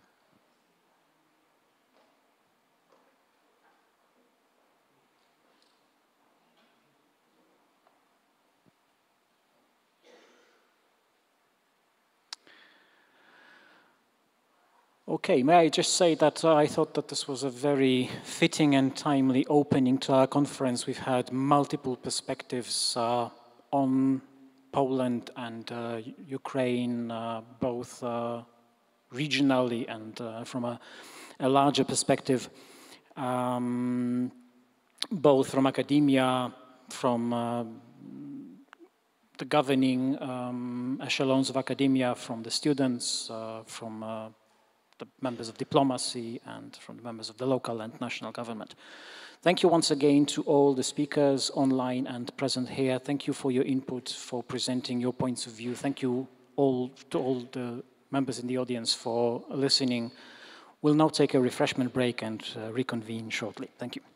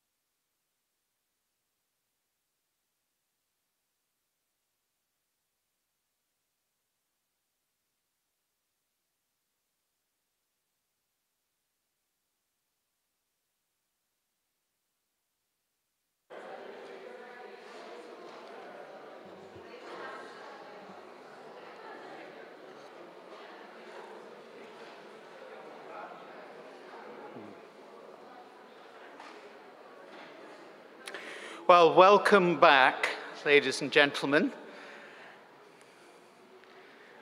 I cannot promise you um, the passion and the emotion of the previous session. Um, but what I can promise you is news of activities which your observatory is undertaking which will enable you to make a difference and to support not only Ukraine um, but other countries as well. It is my pleasure to present a review of what your observatory has achieved in 2023. Also, as we approach a review of our strategy, I will share a reflection of the journey which we have travelled over the last 10 years and invite your input as we start work on charting our course for the period 2025 to 2030. The context in which we work continues to develop in different directions. While the Academic Freedom Index reports marked improvements in a few countries, uh, Uzbekistan and Kazakhstan are prominent in that list this year. Nevertheless, um, it found academic freedom to be in retreat for over 50% of the world's population. That is a very challenging situation. The circumstances faced by universities in countries such as Hungary and Turkey continue to be worrying.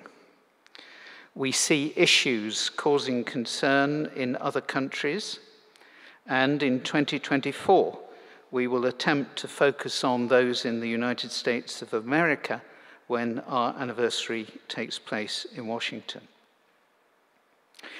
Although we do not know the full extent of it, information which has been received suggests that signatory universities have been most generous with their support for universities in Ukraine following the extremely challenging situation which they've faced, about which we have just been hearing. We are very pleased to welcome representatives of universities and students from uh, Ukraine to Łódź, and we would like to recognize the very warm welcome which the University of Łódź has given to them and to us in organizing this event and making this possible. In the last year, we have added translations of the Magna Charta Universitatum in Ukrainian, Polish, and Catalan, and they've been prepared by colleagues in signatory universities, some of whom are in the room this evening. And we know that other translations are currently being prepared. We're also in the process of arranging translations of the Living Values guidelines. Those who help in this work are helping to make those values more globally accessible and also helping the means to give them full effect to many people across the globe. And we're very grateful to them. A significant innovation this year is that the Magna Charta Observatory organized its first essay competition for students.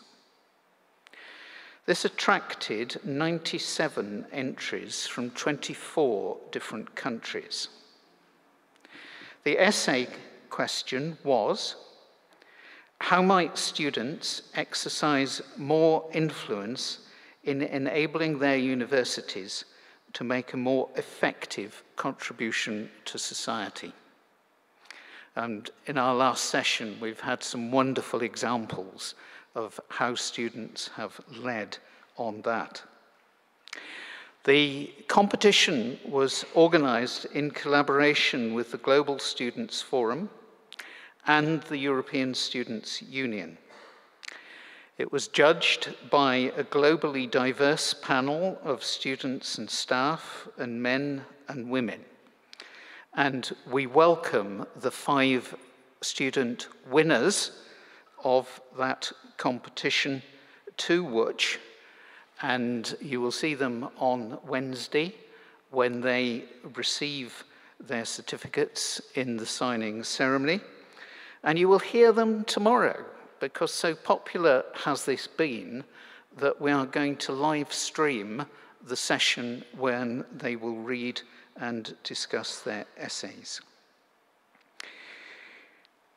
And what I should say is only five students could actually win the uh, expenses package to, to come to Łódź.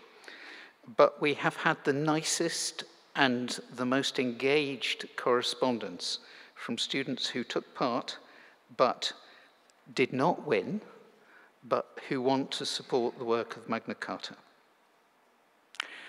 Also, regarding students, the Magna Charta Observatory has for some years worked with student organizations, nominees of two of which, the Global Student Forum and the European Students' Union, are in membership of the Magna Charta Council.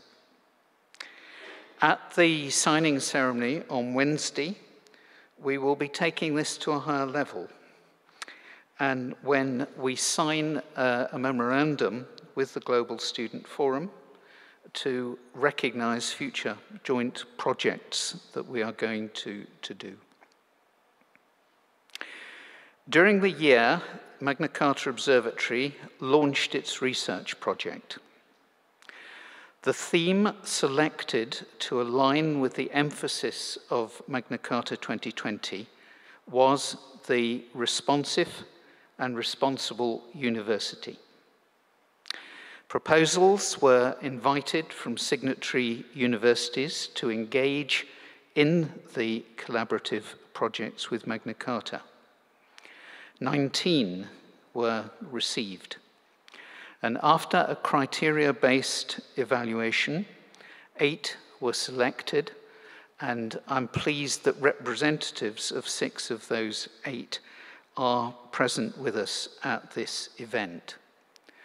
We have just concluded the first workshop with this group of universities.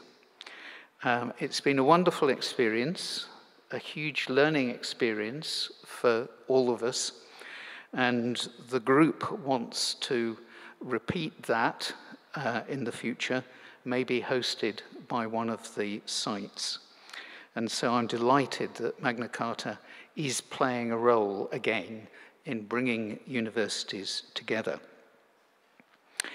Our Magna Charta observatories are now, uh, ambassadors, sorry, are now engaged in supporting research projects as well as universities undertaking the Living Values Project. And we are enormously grateful to them for all that they add to the Magna Charta Observatory. They increase greatly our capacity to, to take action. And um, in addition, ambassadors, um, a couple of whom are in the room, are working with us to develop leadership capacity building materials, which will help in the preparation of student leaders and also university leaders. And you'll be able to learn more about that at the World Cafe session tomorrow afternoon. We've also continued to organize webinars and to collaborate with kindred global and regional bodies. Um, my colleague from the International Association of Universities uh, is here and will be leading a table uh, tomorrow afternoon. EUA, Scholars at Risk, the Association of Arab Universities, the Global Consortium, and the student bodies that I've mentioned have all collaborated with us actively over the last year. More universities are engaging with the Living Values Project, and we welcome reports on their experience, which we can publish so that they help other signatories. We welcome invitations to participate in relevant global or regional symposia, and I was very pleased to be the guest of Epoka University in Albania earlier on this year. They featured the Magna Charta uh, very significantly uh, in their regional conference, and uh, very, very grateful for that and other similar offers. The Association of Arab Universities invited us to join them in Tunisia, where we were able to address some 300 rectors on the theme of student engagement and we will be collaborating with the Association of Arab Universities when we go uh, to Qatar later next month. But let me stand back. Over the previous 10 years, the Magna Charta Observatory has advanced from having a primary focus on the Magna Charta document, developing advocacy, and underlining the aspirational role of the document. And it's developed to focusing much more on how that document is put into practice in universities and how it enables universities to have a greater impact and make a greater contribution to society. Nearly 1,000 universities from 94 countries have now signed the first, second, or both of the Magna Chartas, creating a large and diverse multicultural international group. The strategy adopted by the Council for the period 2020 to 2025 is progressing well, and the activities above that I've mentioned um, hopefully demonstrate that. Between now and the end of 2024, it's a priority for the Council to prepare a strategy that will take us to 2030 and beyond. And that's addressing the question of how the Magna Charta can best help universities to have impact. Now, to inform that strategy, for the first time, as far as I know, we want your input. I will write out about it, but there will be an opportunity tomorrow afternoon when the chair of our council and I host a World Cafe table, and we invite you to come along and tell us frankly what more we can do to, to help you. And uh, the council will be returning to that on the, the following day. The council will then have to determine how that strategy is funded. We are very grateful to the University of Bologna for the financial and other help which it has provided. It's also grateful to those universities which have made voluntary donations to support its work in 2022 and 2023. Last year and this year, we have needed to draw on our reserves to fund our programme. And I hope, therefore, that you will be as generous as you can be when we write to ask for your help financially. We are currently one of the few associations that does not charge a joining fee or a membership subscription. And when the Council has discussed this previously, that has been the position that it wants to maintain so that all universities who want to have access can have access. We would also welcome conversations with universities who would like to become more involved in our work, whether that's hosting one of our conferences or hosting some other activity or help in other ways. We are your network and you make it. Internally, we were very pleased to welcome the appointment of Julia during the year as our research assistant, who, in addition to her research role, has added significant additional capacity and additional skills to our staff team of Carla and me. And Carla, I can't see you with all these lights, but we thank you most warmly for everything that you have done as we do Julia. Finally, I'd like to thank members of the Governing Council of the Magna Charta Observatory and members of its committee for all that they do for the observatory in an entirely voluntary capacity. Also, I'd like to thank all of you for all that you have done to support and enable the observatory to progress to this stage this year. Thank you in anticipation for your input to our future strategy and all that we hope you will do to enable us to realize our aim to enable universities to play an even greater role in society in these turbulent times and in the future. Thank you.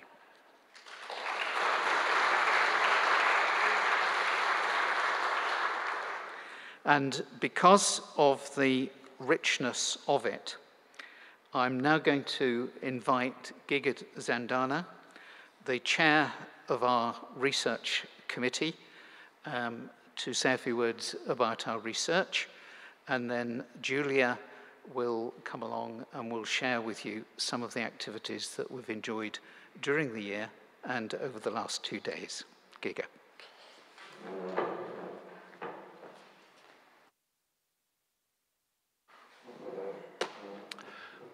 Good afternoon, ladies and gentlemen. David, thank you very much. I will continue with one particular topic, which was briefly described by David in his speech already, that of responsibility. Uh, in 2020, a new, updated version of the Magna Charta Universitatum, the great charter of universities, was published, which, um, alongside with the traditional principles of academic freedom, and institutional autonomy enshrined in the 1988 version of the document mentions explicitly universities' contract with civil society as well as the principle of university responsibility. Um, when Magna Charta Observatory resolved to establish a research committee, it was decided that it would take as its major topic precisely the theme of responsibility not to the detriment of the ideas of freedom and autonomy, but on the contrary, as the opportunity to rethink them against the backdrop of new challenges and new contexts. I'm extremely glad that Julia Berruoso, sitting right next to me, uh, who is the latest addition to the small but fiercely efficient administrative team of the MCO, will talk in detail about the activities undertaken within this framework by the research committee. And because of that, I will allow myself um, a little theoretical digression. As somebody who is interested in the history of ideas, I can tell you a thing which surprised me and could be surprising to you as well. In Europe, people started to use the language of responsibility only about 150 years ago. The word which we regard as indispensable for our moral vocabulary became familiar in modern European languages English, German, French, I could only suppose it in Polish as well, around 1850s before the time, of course, there was a understanding of somebody being responsible for something, but in a very different sense. The old paradigm was that if something would go broke, somebody was to be found to blame for that. So this was the old concept of responsibility. The new, almost revolutionary sense of the term responsibility comes from the understanding of it as, in the first instance, self responsibility. This understanding is based on the idea of autonomy and implies responsibility for things which one has not committed. This is precisely the meaning of the term which seems to be relevant in the context of university life. Universities take responsibility for the problems, challenges, and sometimes disasters for which they are not to be blamed. To give you one uh, concrete and very topical example, as already mentioned by David, based on an open call, the research committee selected six partner universities, each of them reflecting on their institutional experience of societal engagement. Out of the six, three case studies deal with the responses of universities from three different countries to the crisis caused by the Russian invasion in Ukraine. The universities certainly, these universities certainly were not responsible for this invasion, but they were compelled to respond in different ways to the humanitarian catastrophe caused by it. We at the research committee of the MCO are strongly interested what can be learned from such responses about the university, about how these decisions to engage are being made, about the results achieved through this kind of response, about, and about the ways it modifies our understanding, not just of the third mission of the university, but of the overall mission of the higher education. We understand very well that it is not easy for a complex institution such as university to respond consciously and deliberately to societal challenges. There are many reasons for that, some fairly general, unintended consequences of our own actions, or almost an a priori impossibility to predict the progress of science and technology on which the operations of the universities are based. These uncertainties make the decision to engage with society even more praiseworthy on the side of the universities especially because these struggles and these uh, are not only internal and moral in character, but they are very real forces outside of our institutions which do not want universities to get involved, to engage, and to meddle. I often say that I admire a slogan of a writer from the last century who came up with this um, um, motto meddling is desirable. Meddling is a more prosaic word for more academic engagement or responsiveness. We know that this meddling, this engagement, often comes at a price. The dangers to the academic freedom most often are the result of um, the universities meddling into societal affairs, and we have seen these dangers appear in the most unexpected places, not only where academic institutions are relatively new, but also, and surprisingly, where there have been a long and um, strong university traditions of institutional autonomy and academic freedom. All the more, I would like to thank all the involved in our efforts to think and rethink these issues around academic responsibility, the members of uh, the research committee, our university partners, project ambassadors who support our partner institutions. And I would like to underline how much we would welcome your interest in our projects and how much we look forward to collaborate with you in various activities we are undertaking or planning to undertake, of which Julia will tell us more. Thank you very much, and Julia, the floor is yours.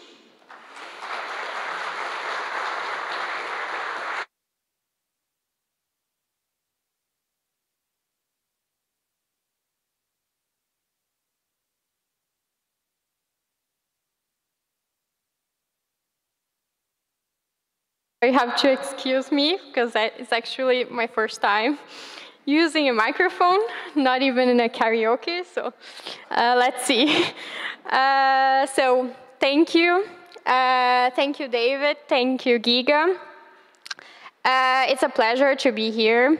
I have to say that I am a very conventional and stereotypical researcher that is always on the back and hiding a bit, but I'm happy to be here and present our brilliant project for all of you. Uh, so, as Giga already presented, the topic that we have chose is the responsive and responsible university. And uh, I will start with uh, this quote that is directly from Magna Charta Universitatum, the version from 2020. Uh, universities acknowledge that they have a responsibility to engage with and respond to the aspirations and challenges of the world and to the communities they serve to benefit humanity and to contribute to sustainability. This is our starting point. It was our starting point for the research project, thinking and reflecting what is the role of the universities in the 21st century. So unfortunately, we have uh, many disasters, natural, man-made, and we have, the, the universities have the, the role and they have the capability to engage and to respond to these challenges. So we have three areas that we are working, uh, two with more focus. The first one is the project that Giga already mentioned. Sorry. So yeah, uh, okay, now it's working. Uh, so three areas that we are focusing. The first is this project that is engaging directly with six universities um, and as Giga already presented, they are focused in different areas, but always with this challenge to respond to the communities, the surrounding, and finally to benefit the common good. The second focus is the creation of a text repository. I will talk a little bit in more details, but it is a project with the purpose of sharing uh, the knowledge in the area of responsibility and also in the area of Magna Charta uh, actions, also academic freedom uh, and university autonomy. So we are also starting with some other uh, research initiatives. One of them uh, was starting, it's actually starting today from the the results of the essay competition, we also um, imagine that it could be very important to engage the students in this um, building of uh, a new area of uh, action of Magna Charta and having them participating uh, in our research project. Uh, so the general objectives uh, for our research pro pro project is to increase awareness in this uh, area uh, of social responsibility of universities, enhance the understanding of researchers, universities, students, develop framework and guidelines that can guide us universities, that can guide researchers, and perhaps increase uh, the action of other universities that have not uh, yet started uh, giving back to the communities and to the surroundings and, and disseminate the research findings, not only from our research project, but also from other initiatives that are happening around the world. And we are also hoping to encourage and facilitate uh, these research initiatives that are taking place, and especially the ones that we are um, co uh, collaborating with. So.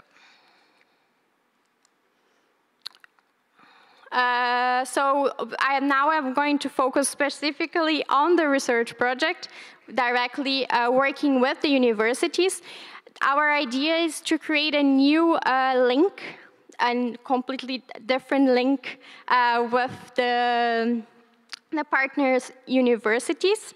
And we have observed that many universities are subscribing to our principles. We are having more and more universities signing up uh, Magna Charta, specifically the Magna Charta version 2020 but this uh, universities still uh, perceive as a challenge uh, and also have difficulties to put this principle in practice in their teaching and their learning activities and their research strategies. So our idea is to somehow support this, uh, these universities and uh, encourage these initi initiatives.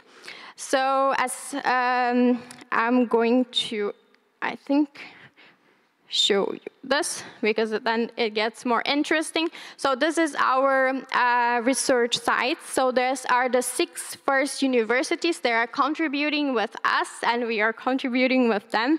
So we have finished this morning a very, very uh, interesting and engaging um, two-day uh, workshop and the idea of this workshop was, uh, although this, not all these universities are talking about the same topic, about the same topic, they, are, they could collaborate and create a network among themselves. So we have uh, Vasyl Stus Donetsky National University from Ukraine with a project focused in um, the situation of uh, the universities displaced university, specifically uh, being one displaced university. Um, I have to apologize for the Polish. Uh, yeah, I will, Medical University from Poland and Wrocław. um, and uh, they are working also with a very, very brilliant and interesting project that is supporting uh, Ukrainian refugees uh, in this context of war. We have also working with a focus in Ukrainian refugees and uh, this uh, um, sense of creating a community and, and supporting the situation, Mykolas Romeris University from Lithuania. And finally, we have three other universities that are focusing on different projects, but also very interesting, very, very important. Uh, University of Tetova of North Macedonia is focused in uh, discussing bullying uh, and violence among students uh, Technical University from Dublin in Ireland is focusing on a more reflexive uh, project. They are a new university and they are building a new framework to focus and reflect on past projects um, that engage with the community in order to create a more uh, a university that more inclusive and also uh, builds uh, their work towards the community. And finally, the American International University from Bangladesh. They are uh, focusing on uh, empowering women and uh, building uh, living uh, areas that, that support uh, uh, poor communities. So now I go to our repository. So the purpose of our repository is to preserve, disseminate, organize, and store textual and audio files in topics related to the work of the, work of the organization, namely university autonomy, freedom, uh, university responsiveness and responsibility, uh, produced not only in the scope of the organization, but also we are going to welcome uh, works from different authors and different universities. So we are inviting also you to contribute and collaborate with this, um, this uh, project. Uh, so the idea is that it's going to be an open access repository that is going to contribute to the values of Magna Charta Universitatum and support universities, researchers, and students, and of course in the end, all the community and, the, and promote the common good. Um, the idea is that knowledge should be shared, should be um, available, and support the, the, uh, the work of the universities and support the, the actions of them. Um, now a bit uh, short about details. We are using um, DSpace, an open source uh, software. This was a big challenge in the beginning. My background is in economics and international relations, and I have been learning a bit of programming to start setting up the initial uh, framework of our repository. And I have to say that it's easier to start learning this programming than being here at the moment. But um, uh, the idea is that these uh, materials that are going to be available are papers, conference, conference papers, master theses, videos, and also all the documents that we are going to produce in collaboration with the participant universities. A very, very important point for us is that the, this uh, repository is not only going to have available materials in English, but also in other languages. It's very important that uh, everyone, independent of their language that they dominate, can um, can access and can gain from this information. So maybe in the future we can also have inter-translations of documents that are in other languages. Uh, we also are going to prepare special filters to facilitate the use of the database. And this, oh, sorry.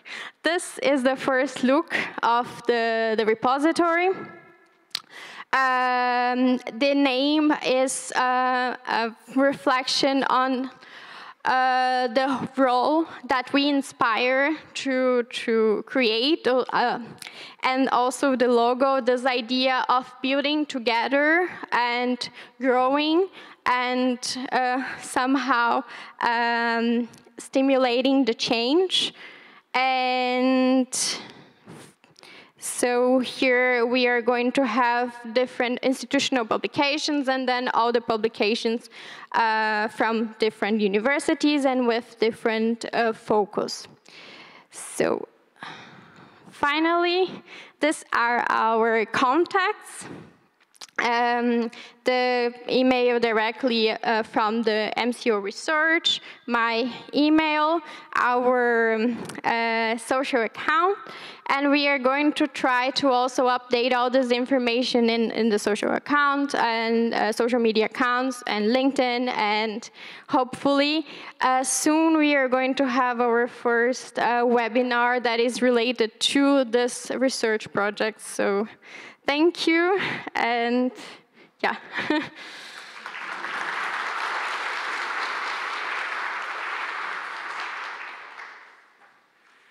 Thank you very much indeed, Julia. This is our first solid step towards our strategic aspiration of making the Magna Charta website the go-to place for resources on values.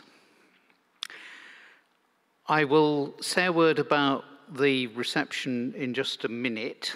And if you have questions arising from what Giga, Julia, or I have said, we will be around in the reception. Um, but first, with apologies, because I do not have my transport announcer's certificate.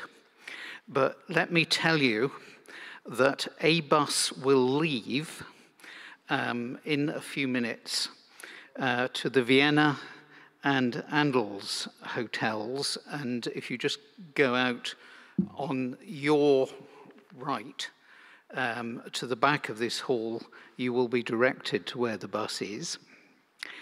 If you choose to go to the reception, which I hope you will, um, there will be buses to the Vienna, uh, Andel's, and Puro hotels um, at 6.15 and also to the Novotel, Ibis and Qubus hotels. Please do not get on the wrong bus. You will be greatly inconvenienced, and as far as I know, there are no links between the buses that don't involve your legs. As far as tomorrow morning is concerned, uh, buses leave from Andel's Puro Hotel, but you need to go to the Andel's Hotel to get on it, um, or from the or and from the Novotel, Ibis, and the Vienna Hotel, and all of those buses leave at 8.20. So if I arrive here in the morning and there's hardly anybody sitting here, I will know I've made a complete mess of giving you that information. But let me just say uh, a few words about the reception. Uh, we have a bit of a reputation at Magna Charta Observatory for doing slightly risky things in, in conferences. And one of them is our World Cafe session, but I'll talk about that tomorrow. Um, the other slightly risky thing um, is the reception tonight. And it goes back to what I said about the generosity of signatories towards universities in Ukraine and the huge support from Poland for Ukraine. And we just thought that you might want the opportunity to talk to some of the people who come from those places to find out what it's really like firsthand. Now, to identify the people you want to talk to, you're going to have to look at their badges, and their countries are written on them. Now, there's absolutely no reason why you shouldn't talk to each other or people from other countries, or indeed ask us questions about what's been going on. But it's been a great joy to have you with us this afternoon. Thank you for your attention. We look forward to seeing you in the reception. Hope you get safely back on your buses and to meeting you here tomorrow morning. Thank you very much.